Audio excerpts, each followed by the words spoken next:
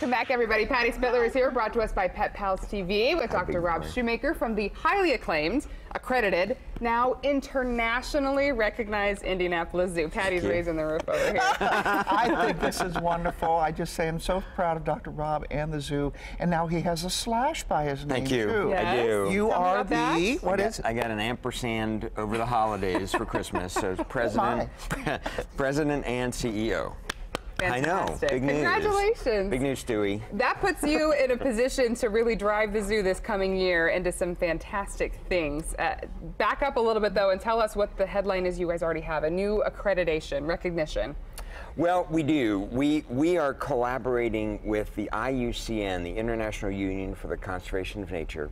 Uh, it's the largest and most important conservation organization in the world. Wow. And uh, starting uh, now, in now in January, we are opening the Global Center for Species Survival, a new department, a new center Wow. um, at the zoo that will be focused on an international conservation perspective. Wow. So uh, we are um, in the process of hiring the director for that center right now. Uh, we're accepting applications from all over the world, um, and that will happen uh, this month. And then we start staffing the rest of that department, uh, and their job is going to focus on an international perspective on advancing conservation. Well, and as you mentioned, species survival too, That's right. something that zoos are very passionate about. Obviously, That's focusing right. on breeding programs and keeping our animals around Right. for right. more and more generations. And it's great that that's happening in Indianapolis because we do have a fantastic setup for some of these breeding programs. I love watching the uh, the monkey videos here, the tanks here too, to make Right. to make that big difference. That must just feel so great to be able to make that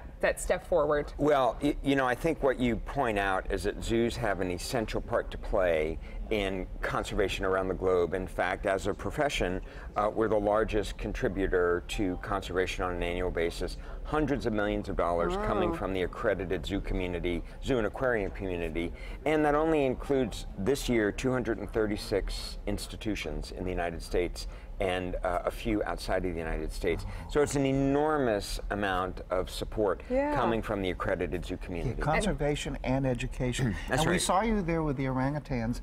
You're, that, that's your oh, and there's the And snake. I, snake, had too. to You I was going to say, I Pythons. remember Patty's picture there. the, the python. Uh, wh- you you work. Uh, some of your work with orangutans. Tell us what you've discovered. How smart they really are. Well, uh, incredibly bright, uh, and we do that work in front of visitors on a regular basis. We want to engage people in the process, get people caring about orangutan conservation.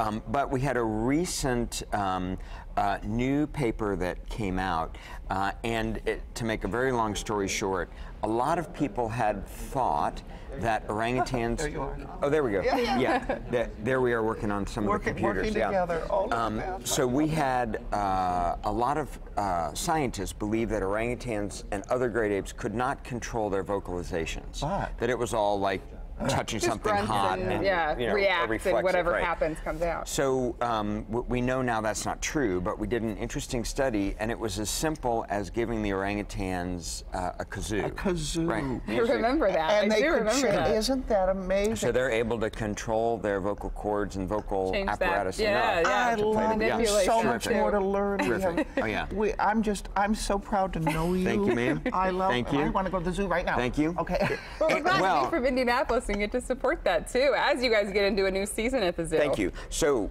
if you want to come to the zoo, we love that.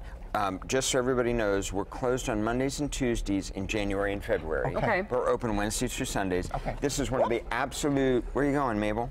She goes, I Mabel, heard you're going to the zoo. we- I want we- to go. go see Dr. Rob. Um, th- come here. see Dr. This is some of the Okay. best time of the year to come to the zoo. Okay. Um, because you largely get the place to yourself. Right. So the colder and more miserable the weather, the better a day it is to come to the zoo. Well, and you have, a- so many indoor exhibits too, We and, do. and ways to see outdoor Oh, yeah. animals while you're indoors. That's one of my favorite things. Oh, I'm like, I'd love to see the polar bears. Just put me behind it, you know, put me behind a glass. Well, you have a fantastic time coming this time of the year. It's also a great time to have a membership because Mm-hmm. you can come as many times as you want, stay for an hour or two, then come back as you feel ready. So it's a great time to come and visit, especially during the cold, snowy weather. We, Oh. we can't bring you in here without asking about the zoo expansion. We brought it up on Daybreak several Yes. times, of course. Uh, tell me real fast, what are you looking forward to this year as the zoo does expand? Well, we have a number of things. I'll do it really quick. We're opening uh, a huge. This is exciting. S- Stay, get ready, a new parking lot. Um, but it's going to You'd be be surprised. Yeah. Some families are going, yes. This is going to be fantastic for visitors. That'll be opening. Uh, most importantly, we're super excited. Memorial Day weekend. We're already thinking about Memorial Day weekend. We're opening an expansion to our elephant habitat. Yeah. Oh. Oh, it's you got my heart know, there. a new destination for the elephants. You're going to be able to get as close to an elephant as we are on the couch here. Really? It's going to be exciting. Very, very so, exciting. so yep, excited. very, very exciting. That'll Oh. open Memorial Day weekend. We're Okay. super proud of it. Um, there's construction fences up now, but people coming to the zoo can look over the fence a little bit and see it's pretty much finished. And get ready to see yeah, that we coming will up be ready Memorial Memorial Day. Day weekend. It's going to be great for visitors, great for elephants. I'm super proud of it. We're going to love I it. love it. Patty, cheers. 2020. at Isn't this Indianapolis great? Zoo. This great. Uh, Coming up today on Great Day TV, we have um, a lady who's also got a slash by her name now. Uh, Tamika Catchings Oh, is now the awesome. General manager of the Fever. So we'll have that coming up, and on Great Day TV at 10 o'clock, and also an update on on my cochlear implant. So. I want that update. I'll be watching yeah, I know. What? What? Say what? what? Fantastic. Saturday mornings here on Wish TV 10 and 10:30. Thanks for coming in, My Dr. Robert. Glad pleasure. to have you Thank you so much. I'm glad to hear the zoo's doing so well. Thank